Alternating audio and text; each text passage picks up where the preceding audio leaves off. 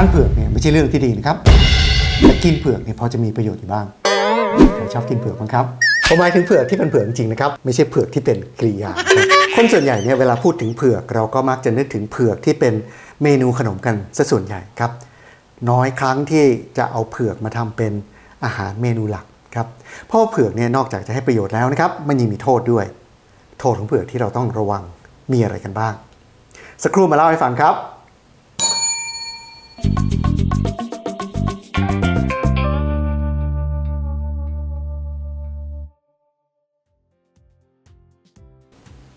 สวัสดีครับลุงน้ำทำครัว รายการสาระเมนูอาหารทำกันง่ายๆ จับนั่นผสมนี่ครับแป๊บเดียวได้เมนูอร่อยๆ มาทานกัน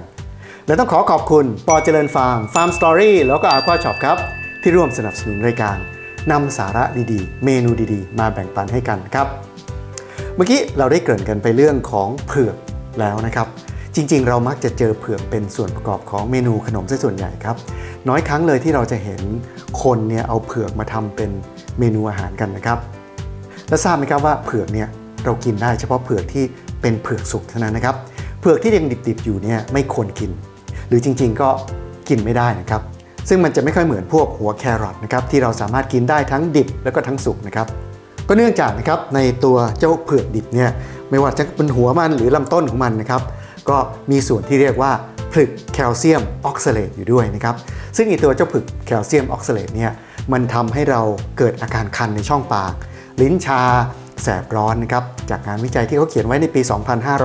2558 ครับ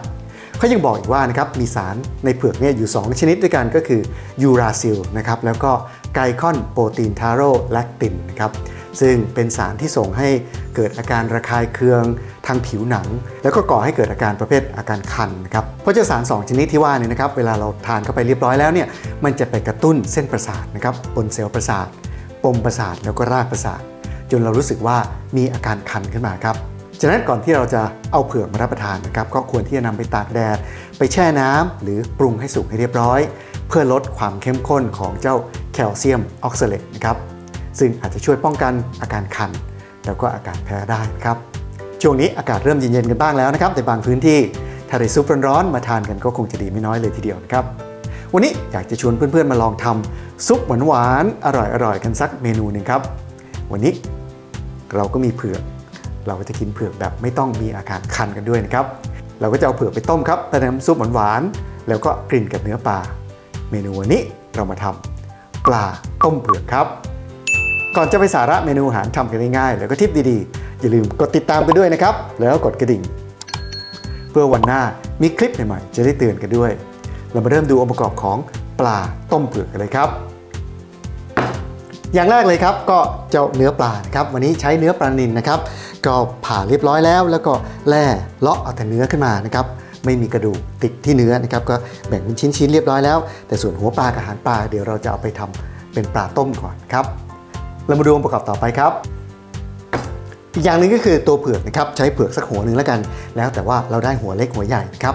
สำหรับเจ้าเผือกเนี่ยวิธีการที่จะดูว่าเผือกนี้ยังหนุ่มอยู่หรือเปล่านะครับไม่แก่เกินไปเนี่ยก็คือว่าเวลาเราเผือกขึ้นมานะครับ เราก็จับจับดูว่ามันยังมีน้ำหนักพอสมควรนะครับไม่เบาเกินไป แล้วเวลากดรอบๆนะครับก็ยังมีเนื้อแน่นนะครับไม่บุ๋มลงไป และนอกจากนั้นนะครับก็ยังพยายามต้องดูรอบๆ ว่ามีรอยแมลงอะไรเจาะเข้าไปหรือเปล่านะครับถ้ายังไม่มีก็แสดงว่าตัวเผือกเนี่ยยังเป็นเผือกที่สมบูรณ์นะครับแล้วก็ควรที่จะซื้อไม่แก่เกินไปครับแต่ถ้าหากว่าเราไปซื้อเผือกนะครับที่เขาปอกเรียบร้อยแล้ว ก็ให้สังเกตดูว่าเป็นเผือกที่มีใยสีม่วงๆเยอะหรือเปล่านะครับใยสีม่วงถ้ามีเยอะ ก็จะเป็นเผือกที่ดีและก็อร่อยด้วย เรามาดูองค์ประกอบต่อไปครับ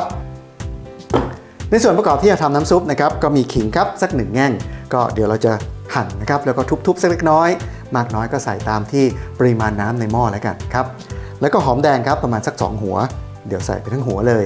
แล้วก็พริกไทยครับพริกไทยดำประมาณสัก 1 ช้อนชาแล้วกันใส่ไปรวมกันนะครับเพื่อที่จะต้มกับหัวปลาของเรา มาดูองค์ประกอบต่อไปครับ ในส่วนที่จะทำให้น้ำซุปของเราอร่อยยิ่งขึ้นนะครับ ก็ใส่เต้าเจี้ยวประมาณสัก 1 ช้อนโต๊ะแล้วกันนะครับ แล้วก็มีน้ำมันงาครับ จะให้กลิ่นที่ค่อนข้างหอมเลยทีเดียว แต่ว่าแล้วแต่คนชอบนะครับ ถ้าไม่ชอบก็อย่าใส่เยอะ ผมเตรียมไว้ประมาณสักเกือบเกือบหช้อนโต๊ะเช่นกันครับ แล้วก็ซีอิ๊วขาวเช่นกันประมาณสัก 1 ช้อนโต๊ะ มีเกลือนะครับอีกประมาณสัก 1 ช้อนชานะครับ แล้วก็ผงปรุงรสเพื่อเพิ่มรสชาติให้กับน้ำซุป อีกประมาณสักหนึ่งช้อนโต๊ะนะครับ และสุดท้าย ใส่เหล้าจีนสักหน่อยแล้วกัน เพื่อที่จะได้รสชาติเป็นแบบอาหารจีนๆอีกสักหน่อยนะครับประมาณสักอืมหนึ่งช้อนโต๊ะก็ได้นะครับหรือว่าชอบมากกว่านั้นก็ใส่มากกว่านั้นได้ มาดูองค์ประกอบอีกส่วนหนึ่งครับ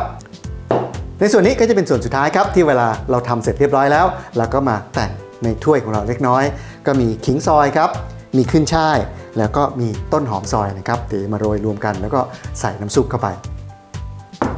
มีส่วนเพิ่มเติมอีกนิดหนึงครับสำหรับปลาที่เราทำเป็นซุปวันนี้ เราจะเป็นปลาทอดนะครับ เพราะนั้นก่อนจะทอดปลาก็จะไปชุบกับแป้งซะก่อน เพื่อได้ปลาทอดอร่อยๆทานกับน้ำซุปเรานะครับ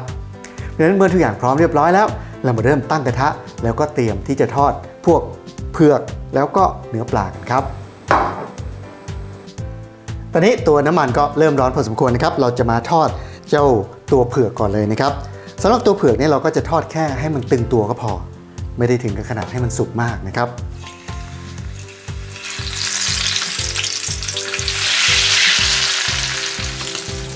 ตอนนี้ตัวเผือกนะครับก็รู้สึกว่าจะค่อนข้างจะมีความเหลืองๆขึ้นมาบ้างแล้วนะครับ แล้วก็มันเริ่มเบาแล้ว มันก็เริ่มลอยๆขึ้นมานะครับ ก็กะว่าเอาขึ้นมาก่อนแล้วกันอะมันเริ่มมีขอบเหลืองๆบ้างแล้วนะครับให้มันหยดน้ำมันแล้วเดี๋ยวเราจะได้มาทอดปลากันต่อ ในเมื่อตัวน้ำมันยังร้อนอยู่นะครับเราก็จะทอดปลากันได้เลย ปลาก็จัดการคลุกๆเลยครับ เป็นชิ้นๆแล้วก็โยนนี่ลงไปได้เลย อยากใช้ปลาอะไรก็ได้นะครับแล้วแต่ชอบเลยแล้วกัน จะเป็นปลานิลปลาทับทิมปลากระพงปลาอะไรก็แล้วแต่ครับนะว่าตอนนี้เนื้อปลาก็น่าจะเริ่มเข้าท่าแล้วนะครับ แล้วแต่ว่าใครอยากจะทอดให้มันกรอบกว่านี้ได้ก็แล้วแต่ แต่ผมว่าประมาณนี้ก็อาจจะกำลังดีกรอบมากเดี๋ยวอาจจะแข็งเกินไปนะครับเพราะฉะนั้นเราเอาเนื้อปลาขึ้นกันดีกว่าครับได้เนื้อปลาเรียบร้อยแล้วนะครับ อืมก็น่าจะใช้ได้เลยทีเดียว มันยังมีความนุ่มๆอยู่ข้างในนะครับงั้นตอนนี้ตัวกระทะเรียบร้อยแล้วเรามาเปลี่ยนครับ เป็นตั้งหม้อต้มน้ำกันครับ น้ำในหม้อเริ่มร้อนแล้วครับ เรามาเริ่มเตรียมตัวน้ำซุปกันได้เลย เริ่มที่เกลือครับ หลังจากนั้นใส่ขิง แล้วก็หอมแดงครับ แล้วก็พริกไทยดำเรารอน้ำเดือดสักครู่นึงครับแล้วเดี๋ยวจะตามด้วยหัวปลา แล้วก็กระดูกปลาที่เหลือครับ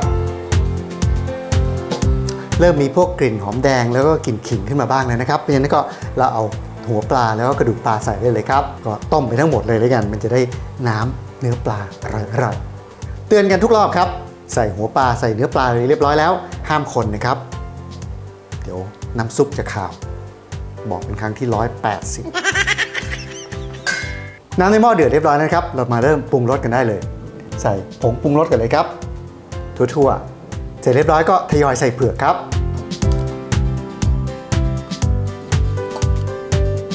แล้วเดี๋ยวรอน้ำเดือดอีกสักรอบครับเริ่มเดือดพอสมควรนะครับ เดือดมาอีกรอบนึงแล้วเราก็ปลาก็สุกพอสมควรนะครับ คิดว่าตอนนี้เรามาใส่ เรามาเริ่มใส่ส่วนที่เหลือครับ เริ่มที่เต้าเจี้ยวก่อนเลย เต้าเจี้ยวนี่ก็แล้วแต่คนชอบนะครับ บางคนก็ชอบเค็มก็จะใส่เยอะหน่อยนะครับ ผมก็พอประมาณละช้อนโต๊ะหนึ่งกำลังดีจากนั้นก็น้ำมันงาครับน้ำมันงานี่จะทำให้มันรู้สึกเหมือนเป็นอาหารจีนเลยทีเดียวนะครับ กลิ่นมันมีเอกลักษณ์อีกแบบหนึ่งน้ำซุปก็จะออกข้นๆนิดนึงเพราะว่ามันมีความเป็นเผือกผสมเข้ามาเราเติมซีอิ๊วขาว ลองใส่สักครึ่ง ครึ่งช้อนโต๊ะก่อนนะครับสักหนึ่งช้อนชาเดี๋ยวมันเยอะไปเดี๋ยวมันจะเค็ม แล้วก็เหล้าจีนสักหน่อยนึงนี่อืมเมนูนี้มันจะเป็นเมนูออกแนวจีนๆนะครับเพราะฉะนั้นรสชาติก็จะมี character ของความเป็นซุปจีนๆอยู่บ้างถ้ามีเวลานะครับก็ต้มนานนิดนึงตัวเผือกจะได้เละอีกหน่อยนึงนะครับ ตอนนี้ตัวเผือกมันก็เริ่มนิ่มๆแล้วครับ แต่ว่ามันยังอาจจะไม่นิ่มพอนะครับ ถ้าเราทิ้งไว้นานๆหน่อยเผือกก็จะนิ่มกว่านี้ เหมือนเป็นเผือกต้มอร่อยๆนะครับแต่ตอนนี้ผมคิดว่าสำหรับผมว่าโอเคละเรามาเริ่มจัดจานกันได้เลยครับ วางปลาทอดเรียบร้อยแล้ว ก็ใส่ต้นหอมซอย ตัวขึ้นช่ายนะครับใบขึ้นช่ายเล็กน้อย แล้วก็ตัวขิงซอยครับด้านบนอีกทีหนึ่งแหมอู้จากนั้นเราก็ราดน้ำซุปได้เลยครับ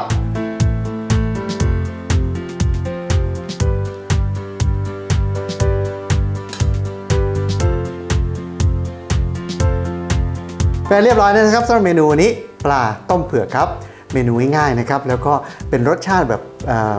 หวานๆของเผือกแล้วก็มีความหอมของเนื้อปลานะครับ แต่งหน้าอีกนิดนึงครับ วางใบขึ้นช่ายด้านบน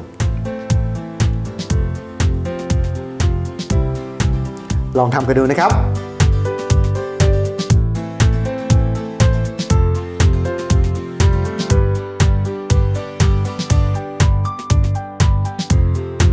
ขอบคุณทุกท่านที่ติดตามนะครับ หวังว่าคลิปนี้จะเป็นประโยชน์กับท่านไม่มากก็น้อย เมนูอร่อยๆครับ แล้วก็ทำกันง่ายๆด้วย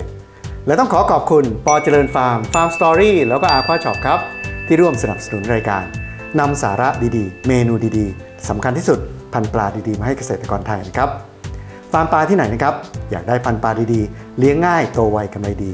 ติดต่อเข้ามาได้ครับป.เจริญฟาร์ม ทางฟาร์มยินดีให้คำแนะนำและคำปรึกษาด้วยนะครับสำหรับรายการนี้นะครับก็เป็นรายการทำอาหารครับเมนูง่ายๆจับนั่นผสมนี่แป๊บเดียวได้เมนูอร่อยๆหนึ่งเมนูไปทานกันครับถ้าชอบกดไลค์ถ้าใช่กดแชร์กันด้วยและให้ดีจริงๆ ก็มอบหัวใจให้กันได้นะครับ จะได้สนับสนุนให้รายการนี้อยู่ร่วมกันไปนานๆพบกันใหม่คลิปหน้านะครับสำหรับวันนี้ลุงน้ำทำครัวลาไปก่อน ขอให้ทุกท่านมีความสุขและก็สุขภาพดี ลุงน้ำทำครัว สวัสดีครับ